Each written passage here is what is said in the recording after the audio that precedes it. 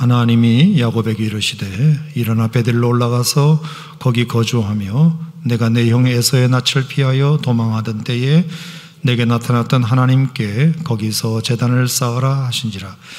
야곱이 이에 자기 집안 사람과 자기와 함께한 모든 자에게 이르되 너희 중에 있는 이방 신상들을 버리고 자신을 정결하게 하고 너희들의 의복을 바꾸어 입으라 우리가 일어나 베델로 올라가자. 내 환란 날에 내게 응답하시며 내가 가는 길에서 나와 함께 하신 하나님께 내가 거기서 재단을 쌓으려 하노라. 하매 그들이 자기 손에 있는 모든 이방 신상들과 자기 귀에 있는 귀고리들을 야곱에게 주는지라.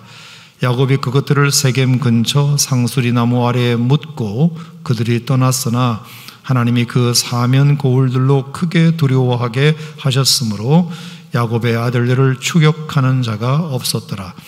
야곱과 그와 함께한 모든 사람이 가나안 땅 루스 곧 벧엘에 이르고 그가 거기서 제단을 쌓고 그곳을 엘벧엘이라 불렀으니 이는 그의 형의 낯을 피할 때에 하나님이 거기서 그에게 나타나셨습니다. 리브가의 유모 드보라가 죽으매 그를 벧엘 아래에 있는 상수리 나무 밑에 장사하고 그 나무 이름을 알론 바굿이라 불렀더라. 사람은 왜 넘어지는가? 이런 주제의 말씀 나누겠습니다. 여러분들에게 한번 물어보겠습니다. 사람이 왜 넘어질까요? 잘 나가던 사람이, 유명한 사람이 하루아침에 한 방에 넘어지는 이유가 뭐 여러, 여러 개 있으리라 생각합니다. 우선은 제가 이렇게 생각해 볼 때 사람이 넘어질 때는 반드시 그 징조가 있습니다. 그 전조라는 게 있어요. 어, 전조 없이 넘어지지는 않습니다. 어떤 그, 그 앞에 뭔가 경고가 있었어요. 분명히. 틀림없이. 근데 그 경고를 무시하고 무시하다가 넘어지는 거예요. 사람은 왜 넘어지는가? 그 앞에 있었던 몇 번의 경고가 있었는데도 그 경고를 안 들었기 때문에 넘어지는 거예요. 아담과 하와도 왜 그 좋은 에덴 낙원에서 쫓겨났는가? 하나님의 말씀의 경고를 듣지 않아서죠. 분명히 죽는다고 하나님이 말씀하셨는데 허투루 들었기 때문이에요. 소돔과 고모라 성에서도 마찬가지입니다. 그 롯의 사위들이 예, 그 장인어른의 말을 농담으로 들었습니다. 경고를 무시했습니다. 유대 백성들이 왜 바벨론으로 포로로 잡혀가는 유대 멸망의 사건이 있었는가? 여러 차례 그 선지자들의 경고가 있었음에도 불구하고 그 경고를 뿌리쳤기 때문에 외면했기 때문에 그랬다고 생각합니다. 아, 그래서 사람이 망하지 않으려면 어, 경고를 잘 들을 수 있어야 되겠구나.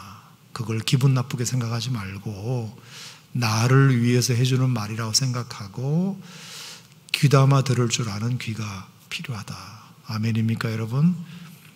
두 번째는 길 아닌 곳을, 길 아닌 길을 가고자 할 때 넘어집니다. 길이 아닌 곳을 가려고 하면. 여러분, 이 도로에도 이 땅에도 다 차가 가는 길이 있잖아요. 사람이 가야 할 길이 있고 갈 수 있는 길이 있고 갈 수 없는 길이 있어요. 제가 백령도에 있을 때 중대장 하나가 이제 서해는 조수간만의 차가 심하기 때문에 물이 빠지면 길이 생기고요.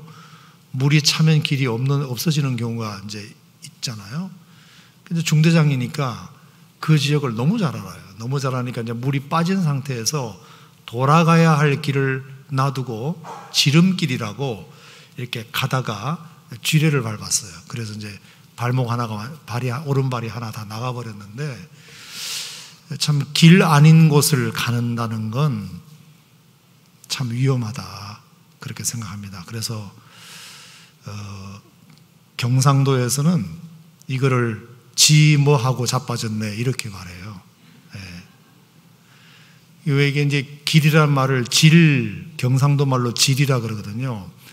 알이란 말은 아래, 길 아래로 가면 자빠진다. 이제 그래서 시작된 말인데 아무튼 우리가 길 아닌 길을 가는 것은 넘어지기 십상이다. 그래서 하나님이 정하신 길, 하나님이 가라고 하신 길, 복된 길, 우리가 그것을 잘 갈 수 있어야 넘어지지 않으리라 생각합니다.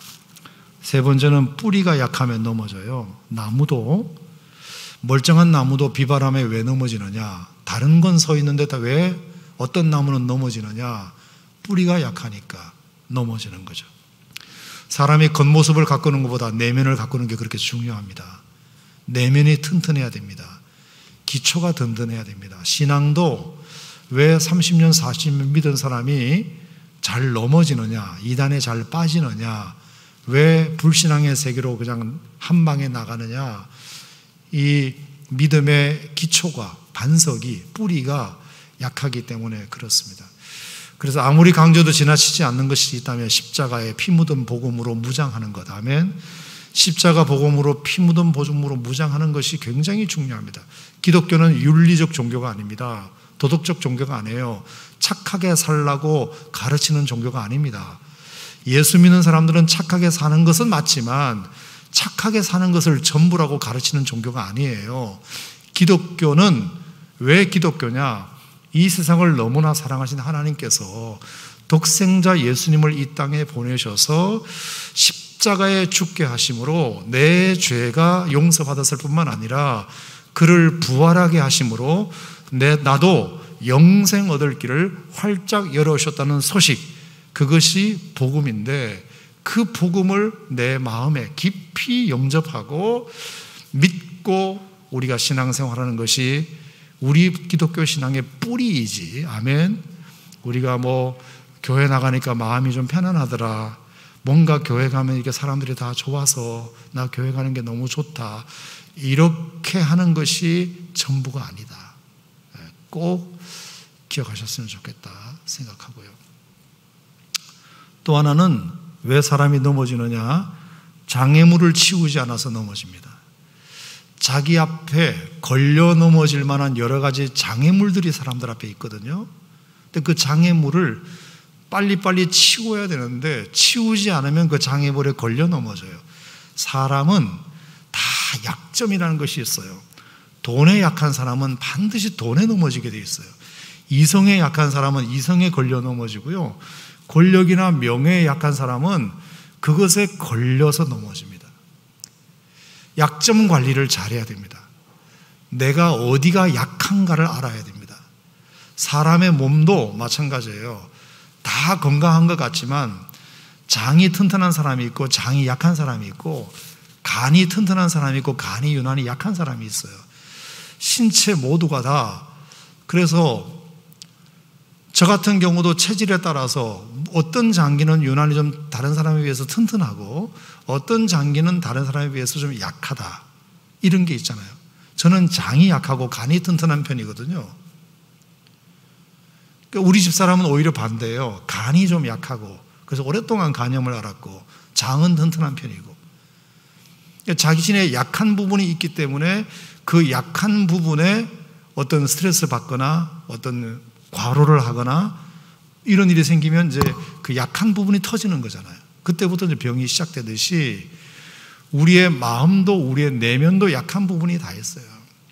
그 약점 관리를 잘하지 못하면 그것 때문에 이제 걸려 넘어지기 시작하고 전체가 무너질 수 있다.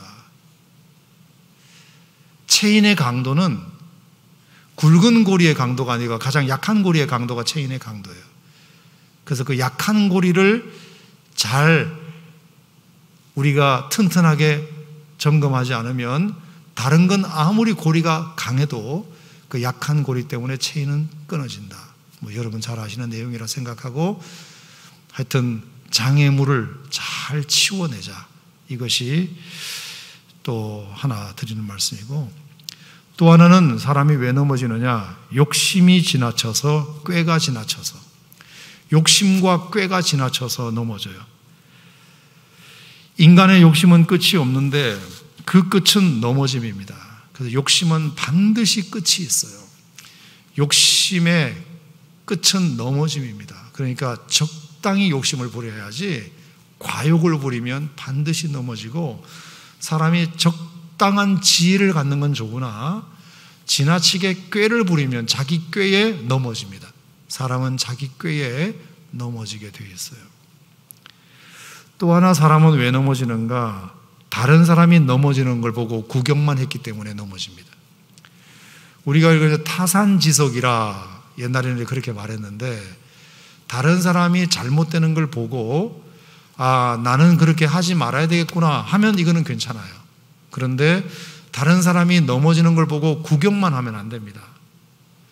내가 넘어질 때 다른 사람이 비웃으면 나는 기분 나쁜 걸 알면서도 자기는 기분 나빠하면서 다른 사람이 넘어질 때 나는 비웃는다든지 조롱한다든지 구경한다든지 거기서 교훈을 얻지 못하면 반드시 본인도 넘어질 때가 옵니다.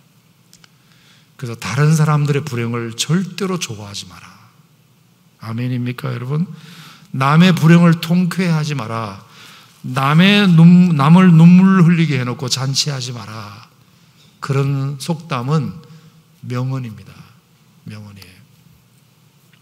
또 하나는 왜 넘어지느냐 하면 안 넘어지려고 버티다가 넘어집니다. 운동선수들은 낙법이라는 걸 배웁니다. 낙법. 낙법이라는 거 아세요? 낙법? 넘어지더라도 안 다치게 잘 넘어지면 괜찮아요. 근데 넘어질 때 안 넘어지면 부러집니다. 다쳐요. 어쩔 수 없이 넘어져야 할 때는 넘어지는 게 좋습니다. 넘어질 때 잘 굴러서 넘어지면 다치지 않습니다. 안 넘어지려고 계속 버티면 결국은 정말 부러집니다. 부러집니다. 한 번도 인생에서 넘어지지 않은 사람이 어디 있습니까? 다 넘어졌다가 일어나는 거죠. 중요한 건 넘어지는 것이 중요한 게 아니라 넘어진 상태에서 주저하지 않고 다시 일어나는 게 중요한 줄 믿습니다. 넘어질 때는 넘어져라. 넘어지면 더 많은 걸 배울 수 있다. 넘어지면 주변도 살필 수 있다. 넘어졌을 때 정말 하나님을 진하게 만날 수 있다. 그런 차원에서는 너무 넘어지지 않으려고 버티는 것도 문제다. 뭐 이런 등등을 제가 이렇게 한번 생각을 해봤고요. 자, 오늘 이제 마지막으로 하나 더 사람은 왜 넘어지느냐. 이제 오늘 설교와 관련되어서 한 가지 더 이유를 든다면 선줄로 생각하기 때문에 넘어지는 겁니다. 고린도전서 10장 12절에 보면 따라합시다. 선줄로 생각하는 자는 넘어질까 조심하라. 선줄로 생각하기 때문에 넘어지는. 이만 하면 됐지. 다 이루었잖아. 나는 이제 더 할 게 없어.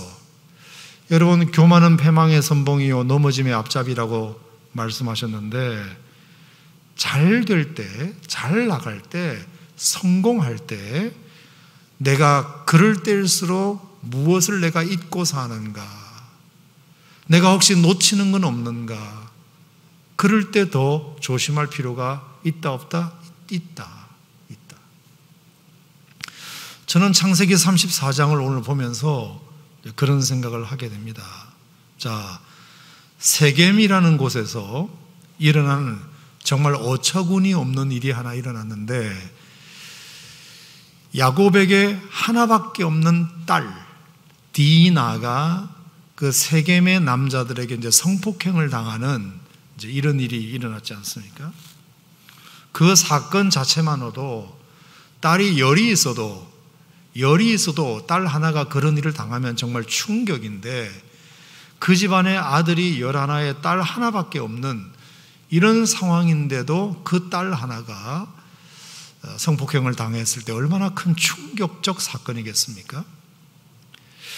근데 더 충격인 것은 뭐냐 하면 자기 딸이 그렇게 되었는데도 아비라는 사람이, 야곱이라는 사람이 그것을 처리하는 과정이 아무리 봐도 좀 소극적으로 대응하는 것 같은 느낌을 지울 수가 없어요.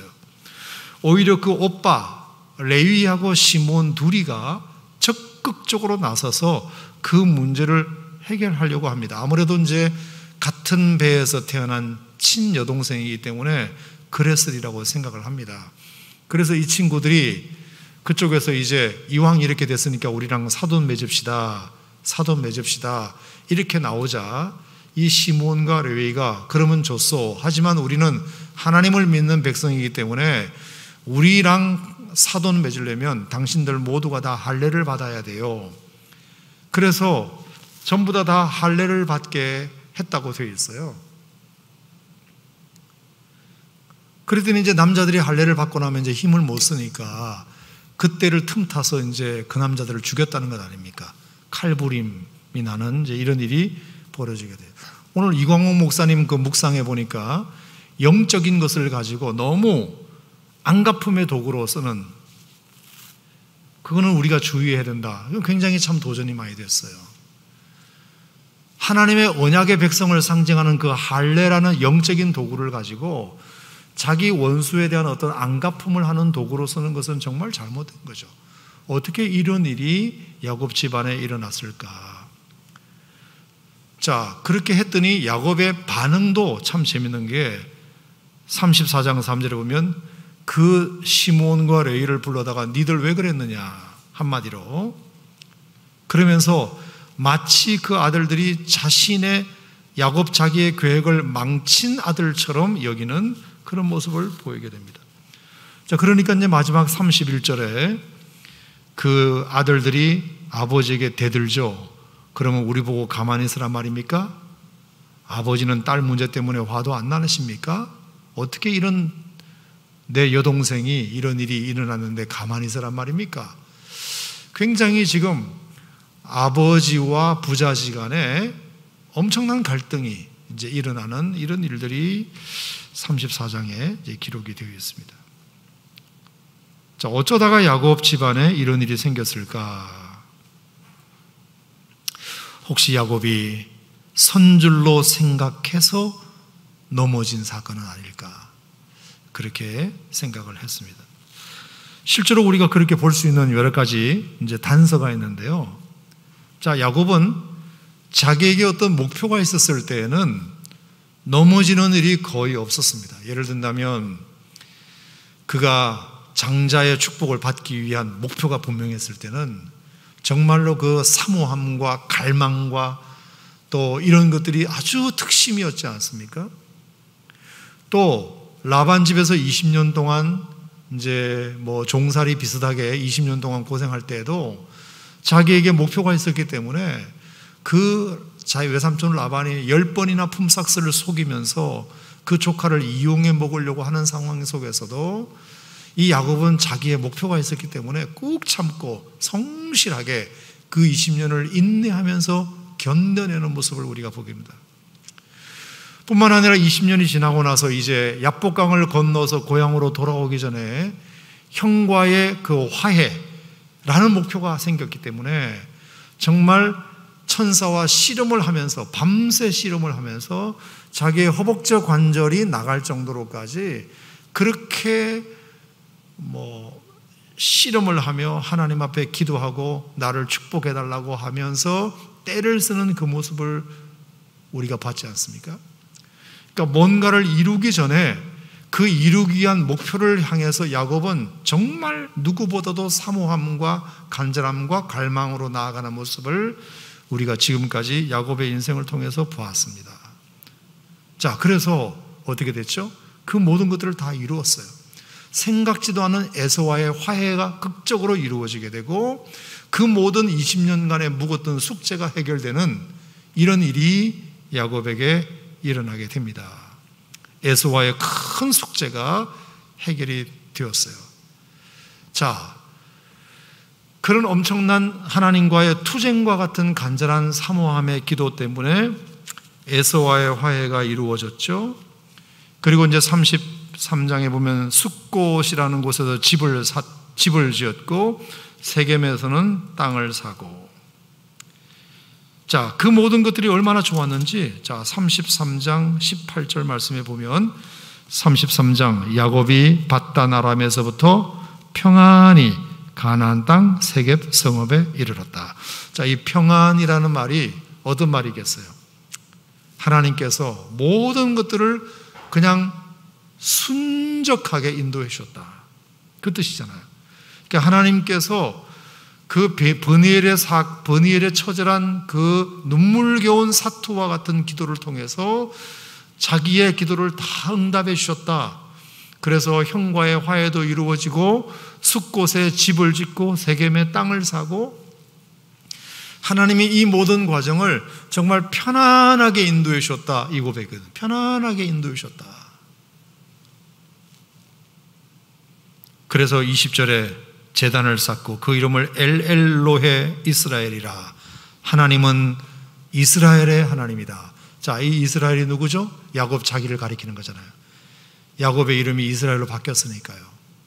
그러니까 엘엘로헤 이스라엘 이 말은 하나님은 나의 하나님이다. 하나님이 내 편이심이 확실해졌다 이 뜻입니다. 이 모든 것들을 편안히 인도하시고 형과의 오래된 숙제도 해결해 주시고 세상의 숲곳에 땅을 집을 짓고 세겜의 땅을 사고 그리고 이렇게 평안히 이 모든 것들을 순적하게 인도하신 것을 보면 내가 믿는 하나님은 정말 엘엘로헤 이스라엘 나의 하나님이시다.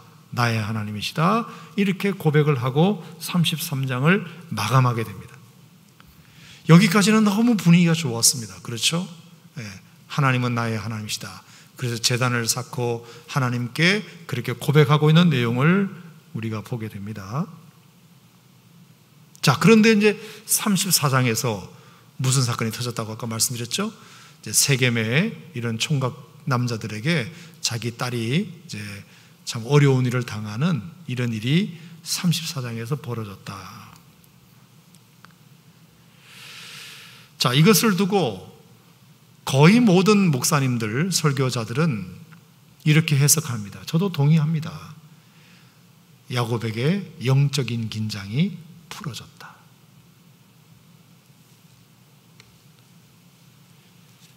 영적 긴장이 풀어졌다. 하나님께서 자신의 모든 기도에 다 응답해 주시고, 그리고 땅도 사고, 집도 사고, 그리고 하나님 앞에 예배를 드리면서 평안히 모든 것들을 인도해 주신 그 모든 것들을 인하여 하나님 앞에 너무나 큰 은혜를 받은 것까지는 좋았으나 그것 때문에 영적으로 둔감해지고 방심되고 긴장이 풀어졌다.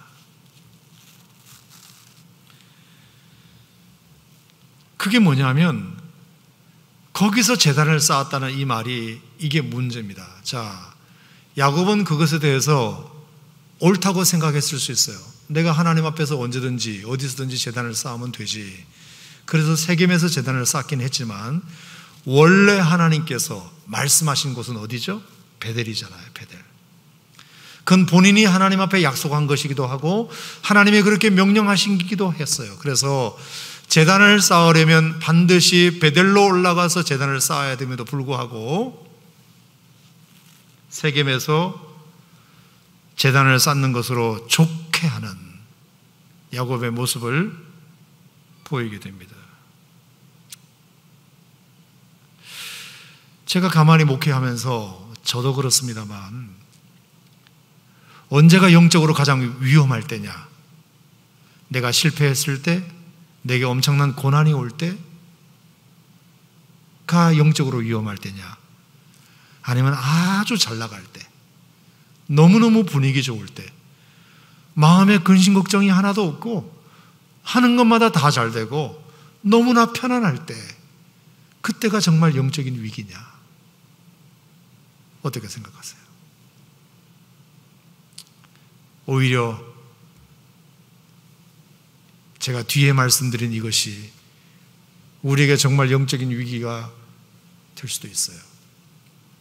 그래서 다윗도 언제 바세바를 범했느냐?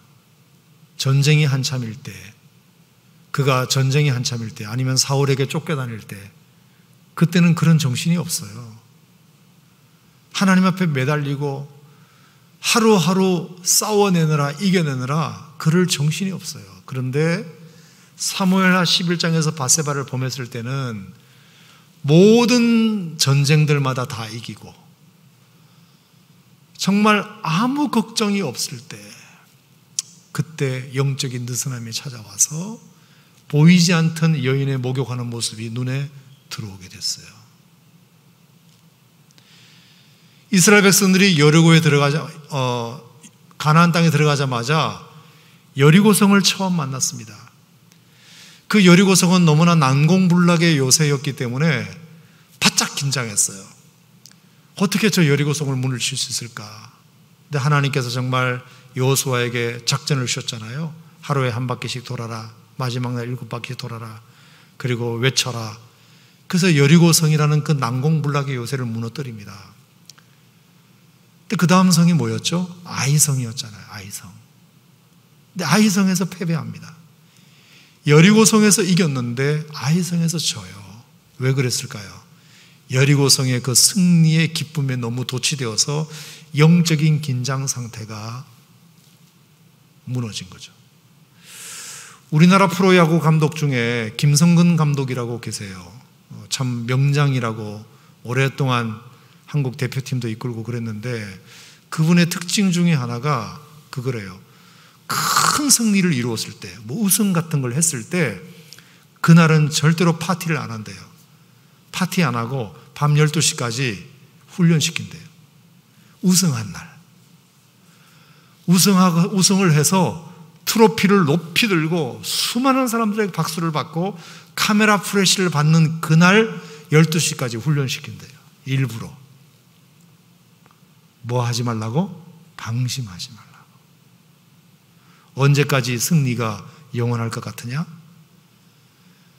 그날 다 풀어져 가지고 술 마시고 밤새도록 그렇게 풀어져면 이게 사람들은 승리 이후에 찾아오는 방심은 너무나 크기 때문에 그래요. 분명히 야곱은 얼마나 하나님 앞에 지금까지 매달리며 사모하며 갈망하며 자기 인생을 이끌어 왔습니까?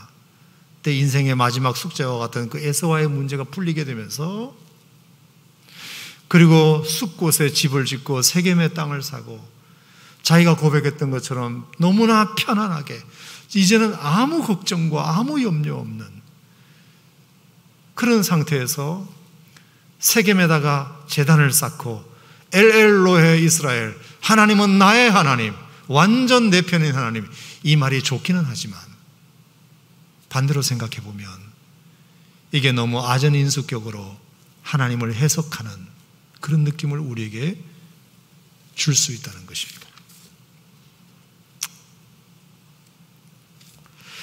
그래서 제가 창세기 34장을 보면서 정말 깜짝 놀란 것이 하나 있어요. 자, 세겜의 이 디나 사건 34장에는 창세기 1장부터 제가 다 조사를 해봤어요. 창세기 1장부터 34장까지 오는 동안 한 장도 하나님의 이름이나 여호와라는 이름이 등장하지 않는 장이 없어요. 당연하죠. 태초에 하나님이 천지를 창조하셨다부터 시작해서 1장, 2장, 3장, 4장, 5장, 33장까지 하나님이라는 단어 또는 여호와라는 단어가 단 한 번도 빠진 적이 없어요. 그런데 창세기에서 처음으로 34장 1절부터 끝절까지 아무리 눈 씻고 봐도 하나님 여호와라는 단어가 없어요. 없어요. 세겜에 세겜이라는 땅에 살면서 그 문제를 해결해 가면서 어떤 문제가 터졌을 때 그 문제를 해결하는 방식 중에 분명히 그는 예배는 드렸어요. 그죠? 엘엘로의 하나님이라고 예배는 드렸지만 어떤 가정의 문제가 터졌을 때 그 문제를 해결하는 방식 속에서는 하나님 여호와가 전혀 등장하지 않는다는 사실을 발견하게 되었어요. 이따가도 말씀드리겠지만 엘엘로의 이스라엘 목사님 그건 좋은 것 아닌가요? 어쨌든 간에 단을 쌓았잖아요. 장소가 뭐가 중요해요? 하나님이 자기 하나님이라고 고백했잖아요.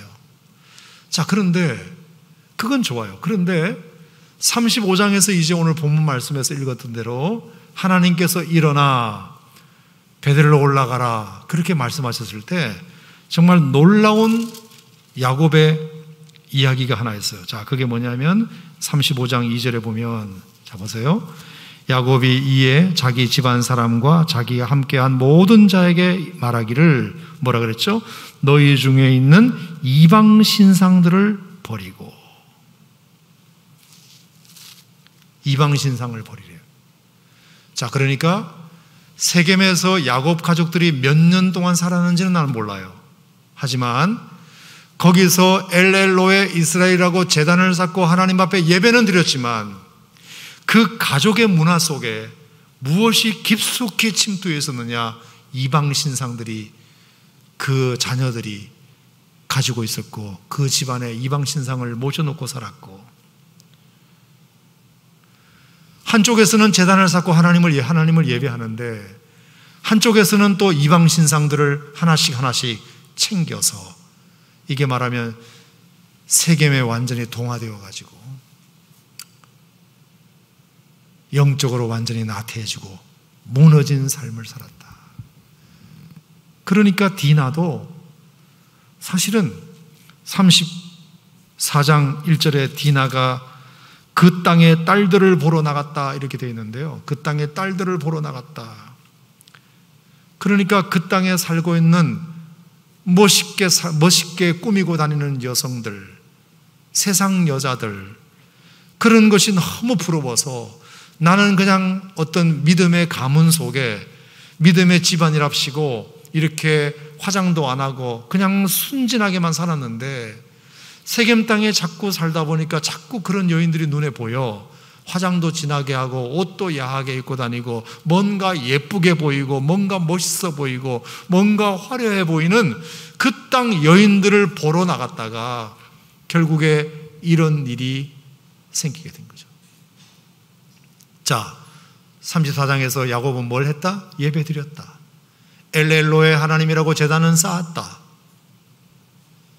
기본적인 신앙생활은 유지했다. 우리식으로 말하면 주일날 교회 가서 예배는 드렸다. 하지만 뚜껑을 열어보니 그 자녀들은 세상에 여러 가지 화려한 문명 속에 살고 있는 그 여인들이 너무 부러워서 그 땅에 있는 여인들을 보러 나가기를 하고 그리고 각자 거기에 있는 모든 자녀들은 다 이방 신상들을 하나씩 가지고 있어서 결국에 베들로 올라가기 위해서는 그것을 묻어버리고 갈 수밖에 없는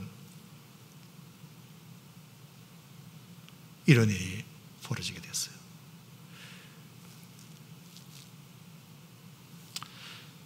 하나님이 그것이 너무 안타까우셔서 오늘 35장 1절에서 야곱아 일어나라. 그리고 올라가라. 따라합시다. 일어나라. 올라가라 세겜화 되어 버린 그 가족들에게 그리고 그 야곱에게 영적으로 완전히 무너지고 방심해져 버린 야곱을 향하여 하나님은 다시 일어나라. 성경에 보면 여러분 일어나라는 구절이 되게 많아요. 뭐 일어나라 빛을 발하라 이런 것도 있고 또 뭐 뭐죠? 달리다 곰 일어나라 뭐 이런 것도 있고 또 성전 미문에 앉아 있는 안전병에 일어나 걸어라 이런 말씀도 있지만 오늘 이 말씀에 일어나라는 의미는 아마 에베소서 5장 14절 말씀을과 가장 관련이 깊은 일어나라가 아닌가 생각합니다. 자, 에베소서 5장 14절 말씀을 잠깐 한번 보실까요? 에베소서 5장 14절. 자, 성경에 일어나라는 구절이 많이 있지만 여기서 일어나라는 의미의 뜻은 저는 에베소서 5장 14절의 뜻과 같다고 생각합니다. 에베소서 5장 14절 말씀에 보면 이렇게 되어 있어요. 다 같이 읽겠습니다. 시작. 그러므로 이르시기를 잠자는 자여 깨어서 죽은 자들 가운데서 일어나라. 그리스도께서 너에게 비추이시리라 하셨느니라. 아멘. 따라합시다. 잠자는 자여 깨어서 죽은 자들 가운데서 일어나라. 자, 여기서 일어나라는 잠자는 자여 일어나라 그랬는데 굉장히 재밌는 것은 잠자는 자여 깨어서 죽은 자들 가운데서 일어나라 이랬어요. 잠자는 자여 일어나라 이렇게만 되어 있지 않고 너희들의 잠자는 그 모습이 마치 무엇과 똑같으냐? 죽은 자들 가운데 있는 것과 똑같다. 여러분 여기서 영적으로 잠자는 자와 죽은 자는 어떤 것을 의미할까요? 잠자는 자란 예수를 믿긴 믿으나 지금 영적으로 잠들어 있는 사람. 그럼 죽은 자는 뭘까요? 아예 불신앙을 신앙이 없는 사람. 근데 왜 잠자는 자, 나 예수 믿는 사람인데 영적으로 잠들어 있는 자를 불신앙의 사람들과 같이 견주어서 말했을까? 왜 잠자는 자들을 죽은 자 가운데서 일어나라고 말씀하셨을까? 저는 이렇게 해석합니다. 예수 믿는 사람이 영적으로 잠들어 있으면 그것은 누구와 똑같다? 안 믿는 사람이나 똑같다. 예수 믿는 사람들이 잠들어 있다는 것은 죽은 자와 다를 바가 없다. 이게 자는 건지 이게 죽은 건지 겉으로 봐서는 모른다.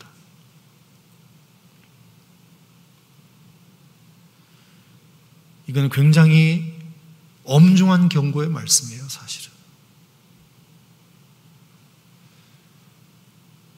여러분 기분 나쁘셔도 이 말씀은 받아들이셔야 돼요. 하나님이 성경은 적어도 예수 믿는 사람이 믿는다고 하면서 영적으로 잠들어 있는 것은 아예 안 믿는 자와 똑같이 취급하시는 겁니다. 죽은 자 가운데서 일어나라.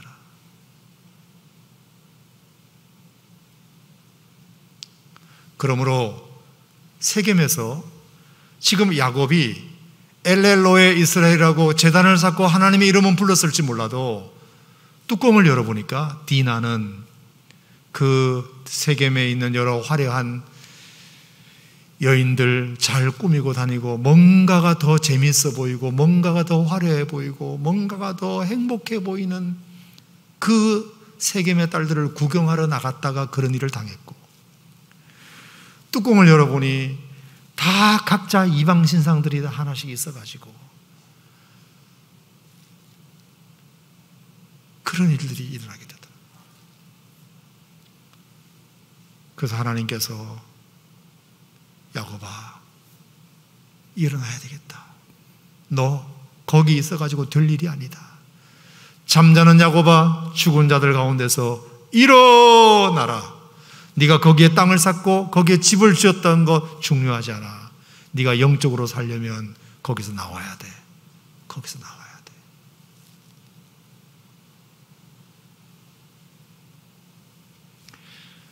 두 번째는 베들로 올라가라 그랬어요. 올라가라. 따라하셔서 올라가라.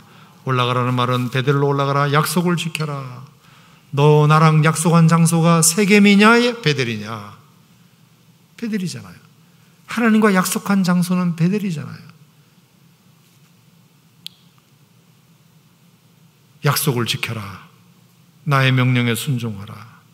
아무리 예배를 세겜에서 드린다 하더라도 나와 약속한 장소는 거기가 아니다.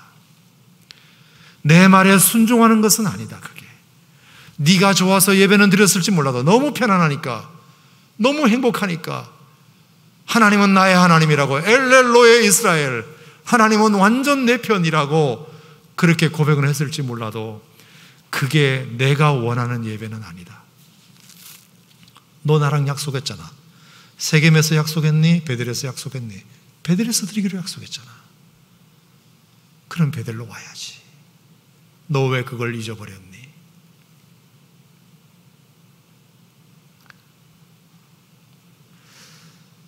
그래서 예배도 다 같은 예배가 아니구나. 여러분, 가인은 예배 안 드렸나요? 가인도 예배 드렸잖아요. 하지만 그 예배를 받지 않으셨잖아요, 하나님이. 예배 드린 것으로 퉁치면 안 되겠구나. 모든 예배를 하나님이 다 받으시는 건 아니구나. 하나님의 약속에 의한 예배이냐? 하나님의 말씀에 순종하는 예배이냐? 아니냐? 아멘인가 여러분? 하나님이 그런 예배를 진정으로 받으시지 모든 예배가 다 하나님이 기뻐하시는 예배가 아닐 수도 있겠구나. 그러니까 성경 어디에 보면 너희들이 가지고는 재물이 역겹다. 그만 가져와라. 너희들의 모는 절기가 다 역겹다. 아, 우리는 예배만 드리기만 하면 모든 것이 다 하나님에게 기쁨이 되는 줄 알았는데 그게 아닐 수도 있겠구나. 하나님이 원하시는 예배, 하나님의 명령을 따르는 예배, 그리고 하나님께 약속을 지키는 예배, 아멘. 그런 예배를 하나님이 받으시지. 내가 원하는 스타일의 예배를 아무렇게나 드린다고 해서 내가 하나님께 엘엘로의 이스라엘이라고 고백한다고 해서 하나님이 기뻐 받으시는 예배가 아닐 수 있겠구나. 그렇게 예배 드리면 뭐예요? 딸은 그렇게 돌아다니고 있고, 자식들은 모두가 다 이방 신상들을 다 하나씩 가지고 있고, 그게 무슨 의미가 있냐? 야고바, 죽은 자들 가운데서 일어나라. 그리고 네가 예배드려야 할 곳은 어디다? 베델이다. 그래서 하나님께서 베델로 올라가라고 일어나시기를 축원합니다. 올라가기를 축원합니다. 제가 우리 교인들은 그런 건 아닌데요. 그럴 수가 있어요. 가끔 뭐 개업 예배 같은 거 이게 목사님 개업 예배 드려주세요. 그럴 수 있잖아요. 그럼 가서 기쁨으로 드려요. 그 개업 예배가 어떤 의미라고 생각하세요? 예배는 드렸으니까 이제 장사를 내 맘대로 뭐 거짓말하고 뭐 떼먹고 사람 속이고 그렇게 해도 된다는 면제부는 아니잖아요. 그게. 오히려 내가 예배를 드렸기 때문에 이제 책임감을 가지고 하나님의 뜻대로 사업하리라. 하나님의 뜻대로 내가 이 가게를 운영하리라. 내가 예배 드린 이상 솜이 손님이 많든 적든 수익이 많든 적든 일이 잘 되든 안 되든 내가 하나님의 뜻대로 내가 목사님 마시고 예배 드렸으니까 하나님의 뜻대로 내가 이 예배 주신 말씀 붙들고 내가 한번 사업해 보리라 가게를 운영해 보리라 이런 결심을 하는 의미의 개업 예배지. 개업 예배를 무슨 돼지 머리 올려놓고 만 원짜리 꽂아놓고 제사 드렸으니까 이제 내 마음대로 잘 되기만 하면 돼. 그런 의미가 아니잖아요. 그죠?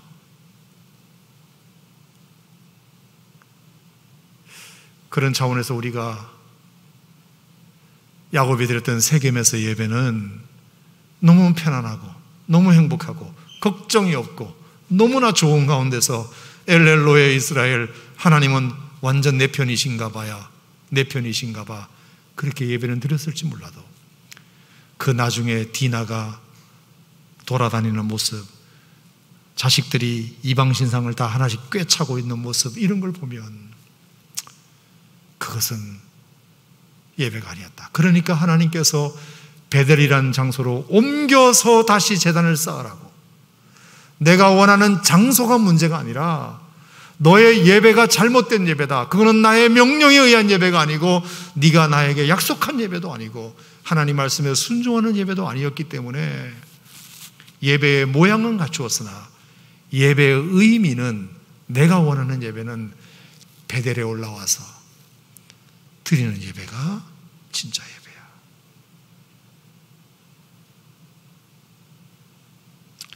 하나님이 그것을 우리에게 말씀해 주신 것 같아요. 자, 그래서 영적으로 야곱이 무너진 이유는 하나님을 자기 식으로 해석하고 자기 스타일로만 하나님을 생각하고 받은 응답의 응답의 이유로 너무나 영적으로 갑자기 확 무너져서 아전 인수로 하나님을 해석하다 보니 예배는 드렸어도 그 주변의 모든 환경은 다 엉망인 채로 살아갈 수밖에 없는 그래서 이런 어려움을 겪는 이런 일이 일어나지 않았을까 그게 저의 묵상입니다. 사랑하는 성도 여러분 영적으로 무너지 마시기를 축복합니다. 영적으로 선줄로 생각할 때 우리가 더 긴장하고 주변을 돌아봐야 되고 과연 내가 오늘 드리는 예배가 하나님이 기뻐하실 만한 예배인가? 아벨의 예배인가? 가인의 예배인가? 하나님의 명을 따르는 예배인가? 내가 하나님께 약속을 약속한 것을 지키는 예배인가? 우리가 그것을 늘 묵상해야 하나님이 받으시는 예배가 될 수 있겠다. 그렇게 생각하고요. 자, 지금 9시 40분인데, 음, 10분만 더 할게요. 오늘을, 어, 기도는 여러분 각자 좀 할 수 있도록 시간을 드리기로 하고요. 자, 영적으로 또 왜 사람들이 무너지는가? 두 번째. 두 번째는 제가 오늘 본문 말씀을 보면서 너무나 이상한 본문을 하나 발견했기 때문인데요. 자, 35장 35장 8절입니다. 8절. 리브가의 유모 드보라가 죽음에 그를 베델 아래에 있는 상수리 나무 밑에 장사하고 그 나무의 이름을 알론 바곳이라고 불렀다. 자, 느닷없는 리브가의 유모 드보라의 장례 소식이 어울리지 않는 이 본문 속에 떡하니 들어있습니다. 궁금하면 못 참는 저의 성격에 의해서 자료를 뒤지기 시작했고 도대체 이 본문이 여기에 왜 들어있느냐. 그리고 리브가도 아닌 리브가의 유모, 존재감 없는 리브가의 유모. 여러분 성경에 리브가가 죽는 모습은 오히려 나오지 않습니다. 언제 죽었는지도 몰라요. 그런데 리브가의 유모가 무슨 대단한 여자라고 그리고 성경에 죄송한 표현인데 여자가 죽는 기록도 거의 없어요. 근데 리브가도 아닌 리브가의 유모인 그냥 천한 여인에게 불과했던 그 드보라가 죽어서 장사 지내는 모습이 그리고 너무나 야곱이 슬퍼했다는 기록이 이 상황에 딱 등장했어요. 자료를 뒤졌어요. 다른 목사님들 설교도 들어봤어요. 누구도 설명해 주지 않아요. 그냥 그런 게 있습니다 하고 다 지나가요. 대부분 다. 제가 이 본문을 보면서 너무나 중요한 것을 하나 깨달았기 때문에 이거는 저의 상상력이니까 이해하고 들으세요. 자, 이 알론 바곳이라는 말의 뜻이 뭐냐면요. 또 다른 슬픔 이런 뜻이에요. 또 다른 슬픔. 그러니까 앞에 어떤 슬픔이 큰 슬픔이 있었는데 이번에 또 슬픔을 당하게 됐다 이 뜻이에요. 리브가라, 리브가의 유머가 죽으면서 내게 또 다른 슬픔이 생겼구나. 또 큰 슬픔이 생겼구나. 이 뜻이에요. 자, 그러면 그 앞에 있는 슬픔은 뭘 의미할까요? 뭘 의미할까요? 리브가의 유모. 자, 리브가의 유모는 리브가가 바다나람에서 엘리엣이라는 종을 따라서 이제 시집을 오면서 유모니까 같이 따라온 여자예요. 유모는 전 먹이는 사람이잖아요. 그러니까 유, 리브가에게 있어서는 약간 몸종이면서도 약간 뭐라고 그래야 되나 자기를 봐주는 옆에서 이렇게 마님을 봐주는 이제 여종 같은 그런 역할을 유모니까 나이도 더 많았겠죠. 리브가가 어려서부터 키워낸 엄마 대신 키워낸 유모예요. 유모. 자, 그러니까 야곱에게는 뭐가 될까요? 이모 같은 존재예요. 우리 엄마를 그렇게 잘 봐준 이모와 같은 존재예요. 자, 야곱과 리브가의 관계는 이미 여러분들이 잘 아세요. 형 에서는 아버지랑 딱 붙어 있고 야곱은 엄마랑 찰싹 붙어 있잖아요. 껌딱지처럼 붙어 있었어요. 그게 수십 년 그렇게 살았어요. 근데 그 어머니를 결국은 떠나서 이제 먼 라반 삼촌 집으로 홀로 단신으로 가게 되었어요. 그러니까 야곱은 그 어머니와 떨어져야 된다는 것 때문에 얼마나 불안하고 그래서 그 유모에게 이모 우리 엄마 좀 잘 부탁해요. 아버지는 관심도 없고 형도 관심이 없으니까 우리 엄마 잘 부탁해요. 이모만 믿어요. 진짜 이모는 아니지만 우리 엄마를 봐주는 여인이기 때문에 그냥 이모라고 쉽게 부를 수 있잖아요. 그리고 나서 20년 동안 정말 열심히 최선을 다해서 살았어요. 그리고 많은 재산도 없고 가족들도 거느렸어요. 자, 그러면 이제 고향 땅으로 돌아가는 거예요. 자, 고향 땅으로 돌아갈 때 누구를 더 만나고 싶어 했을까요? 아빠일까요? 엄마일까요? 빨리 엄마라고 해줘봐요. 엄마죠. 당연히 엄마죠. 왜? 왜일까요? 엄마가 그렇게 걱정이 돼요. 엄마가 잘 계실까? 엄마가 잘 계실까? 건강하실까? 나이로 치면 벌써 20년이 지났으니까 꽤 먹으셨는데 할머니 됐겠다. 그 마음이 얼마나 간절했겠습니까? 간절했겠습니까? 그래서 야복강을 건넜어요. 형과의 화해가 이루어졌어요. 자, 잘 마무리가 됐어요. 자, 이제 그러면 이제 엄마만 보러 가면 되는 거죠. 근데 어느 시점인지 모르지만 갑자기 한 여자가 야곱을 찾아와요. 세월이 많이 지나서 처음에는 몰랐는데 가만히 살펴보니까 누구다? 유모예요. 자기 엄마의 유모. 야곱의 이모가, 어, 여기 이모가 어떤 일이세요? 아니, 이모인 것까지 이모가 웬일이세요? 그 이모가 너무나 큰 슬픈 소식을 가지고 야곱을 찾아와요. 무슨 소식일까요? 야곱아, 너희 엄마가 돌아가셨다. 너 너무 멀리 있어가지고 걱정할까봐 알리지 못했다. 어머니가 너 오매불망 너만 그리워하다가 실제로 리브가가 그 사이에 죽었거든요. 그 사이에. 그게 첫 번째 슬픔이에요. 어머니를 보러 고향에 가는데 어머니가 안 계신다는 소식을 들은 거예요. 그리고 수일을 걸어서 야곱을 보러 그 소식을 알려주러 리브가 드보라가 온 거예요. 저는 어떤 마음이 들었느냐? 야곱이 고향에 갈 이유가 없어졌다. 고향에 갈 이유가 없어졌어요. 아빠보다 엄마를 더 그리워했는데 엄마한테 손주들 보여주려고 엄마 우리 부인이고요 우리 손주들이에요 꼭 보여드리고 싶었는데 그 유모가 멀리서 전해준 소식에 의하면 엄마가 돌아가셨고 장례가 이미 다 끝났고 자 그러니까 유모는 그 집에 더 이상 있을 이유가 있다 없다 없어요.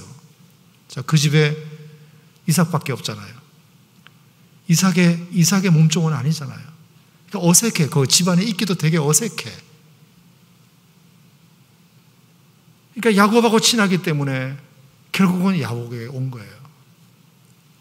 그래서 야곱에게 있어서 이 이모는 자기 어머니를 대신할 만큼의 엄마의 채취가 남아있는 유일한 여인이에요.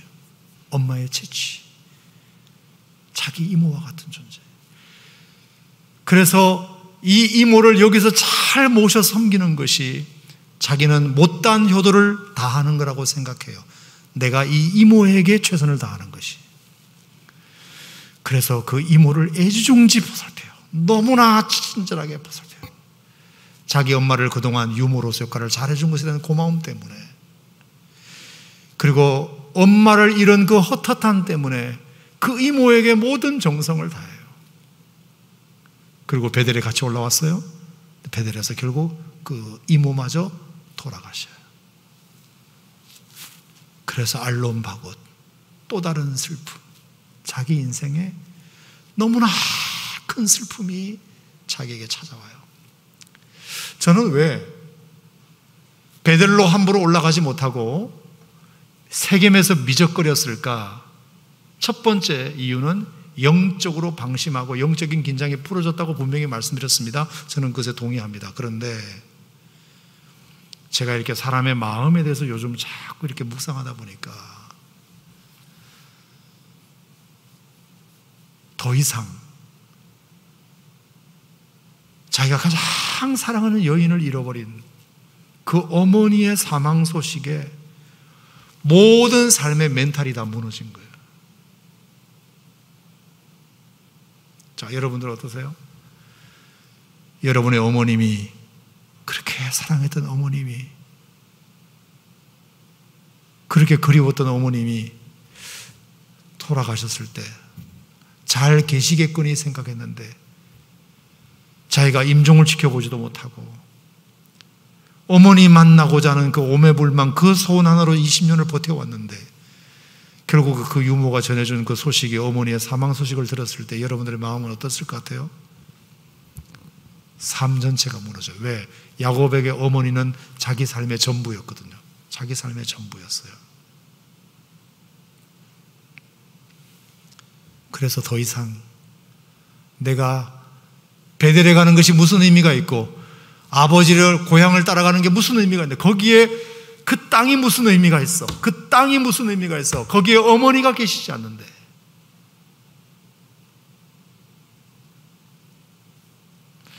여러분, 저희 어머님이 부산에 사시는데 왜 제가 고향 추석 명절에 부산에 갈까요? 부산이 좋아서 물론 내가 자랐기 때문에 하지만 더 큰 이유가 있어요. 어머니가 거기 계시니까 가는 거지. 근데 저희 어머니 돌아가시면 갈 일이 없어요. 갈 일이 없어요.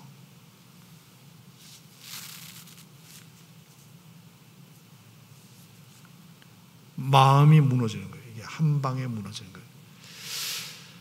제가 그래서 성도님들을 참 많이 이해하게 됐어요. 본문을 묵상하면서 영적으로 나태해졌으니까 그렇게 됐지.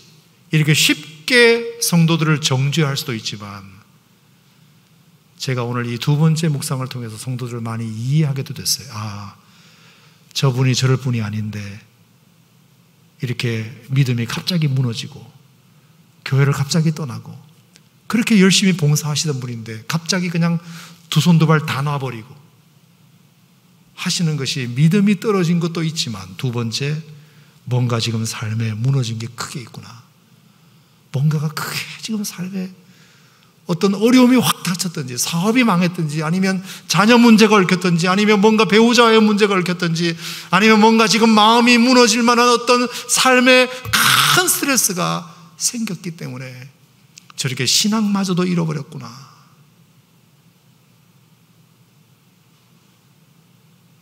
믿음이 좋았던 분인데 저렇게 신앙마저도 잃어버릴 수 있겠구나. 내가 함부로 정지하지 말아야 되겠다. 아이, 믿음 좋았던 양반이 왜 그래요? 다시 일어서세요. 이렇게 함부로 말하지 말아야 되겠다.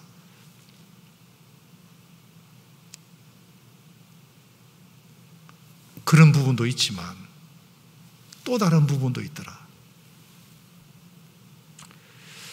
그래서 요즘 사람을 함부로 정죄하는 것에 대한 두려움이 요즘 제게 많아졌어요. 왜? 그 삶을 들여다보면 그럴 만한 이유가 분명히 있을 테니까.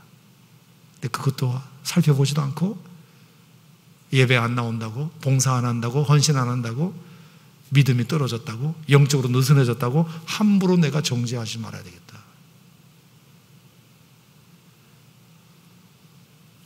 자기 삶의 전부와 같았던 그 어머니가 그리고 그 어머니의 마지막 채취와 같았던 유모마저 알론 바굿 잃어버린 그 야곱의 마음은 얼마나 마음이 무너졌을까. 이런 생각을 제가 드리면서 하나님께서 여러분들에게 많이 위로해 주셨으면 좋겠고, 그래서 34장 말씀 끝에 35장 1절 사이에 무엇가 빠졌는지 아세요? 하나님의 야단치시는 것이 없어요. 만약에 저 같으면 야곱아 나 너 실망했다. 어떻게 그렇게 응? 내가 너 이름을 이스라엘이라고 이름을 바꿔주면서까지 그렇게 내가 너를 축복해 줬는데 어떻게 이렇게 세겜에서 이렇게 눌러 앉아서 정말 세상화 되어 버렸니? 하나님이 한번 호되게 야단을 쳤을 것 같은데 34장과 35장 사이에 그 말이 하나도 없고요. 그냥 갑자기 하나님이 이르시되 일어나 베들로 올라가거라. 이 말씀을 하신 이유는 하나님이 어느 정도 그 야곱의 형편을 아셨기 때문에 그러셨을 수도 있겠다는 생각을 해요. 뭐가 맞는지는 몰라요. 이건 그냥 저의 묵상일 뿐이에요. 제가 목회하면서 그런 경우를 너무 많이 봤거든요. 함부로 정죄하고 믿음 떨어졌다고 함부로 욕할 것이 아니고 잘 그렇게 믿음 생활 하시던 분이 그렇게 된 데는 이유가 있을 수 있다. 첫 번째는 영적으로 방심하고 영적으로 긴장이 늦춰졌을 수도 분명히 있어요. 나는 그런 경우도 많이 봤거든요. 그럴 때는 우리가 회개해야 돼요.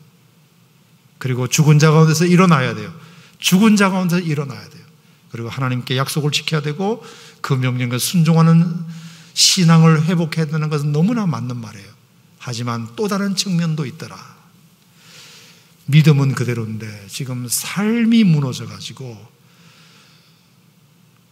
의미를 잃어버린 하나님은 살아계시다면서 나한테 이런 일이 왜 생겼지? 너무나 삶이 무너져 가지고 신앙조차도 그냥 손을 놔버릴 수밖에 없는 그런 사람들도 분명히 있더라. 그런 사람들에게는 정죄하면 안 되고, 하하. 얼마나 삶이 많이 무너졌길래 이렇게 신앙마저 흔들릴 정도가 되셨을게요. 되셨겠습니까? 그런 마음을 하나님이 이번 이 묵상을 하면서 저에게 주신 것에 대해서 너무 고맙게 생각합니다. 그래야 제가 성도들 바라보는 눈이 영적으로만 딱 고착화되어서 신앙적으로만 지적해내는 그런 목사가 아니라 아, 그럴 수도 있겠구나. 라고 다시 내가 좀 돌아볼 수 있는 그런 마음을 주셔서 제가 이걸 설교를 안 하려고 했는데 그냥 제 고백으로 여러분들에게 드립니다. 아무튼 이 모든 것의 결론은 그럼에도 불구하고 우리가 사는 길은 베델로 올라가는 것이다. 베델로 다시 올라가는 거다. 결국 우리가 하나님 앞에 가서 하나님께서 나의 첫사랑을 만났던 그 루스, 그 베델에서 나를 만나셨던 그 하나님을 다시 만나고 다시 회복하고 그것밖에 없다는 것은 그거는 분명한 사실인 것 같습니다. 여러분 어떤 삶의 형편에 있든지 간에 정답은 하나, 우리가 다시 베델로 올라가는 것이다. 그래서 하나님의 집 베델이 아니라 엘 베델, 그 하나님의 집에 하나님을 다시 만나는 교회에 나오는 것이 중요한 게 아니라 그 교회에서 내가 다시 하나님을 만나는 것. 엘 베델, 그 하나님이 여러분의 하나님이 되신다면 영적인 나태함도 하나님께서 회복시켜 주실 것이고 여러분의 마음을 무너뜨린 그 여러 가지 삶의 스트레스와 고난과 역경도 하나님이 그것을 통해서 풀어주시지 않겠는가. 결국은 우리가 베델로 올라가는 것, 그것이 우리에게 가장 좋은 해결책이다. 믿으시면 아멘.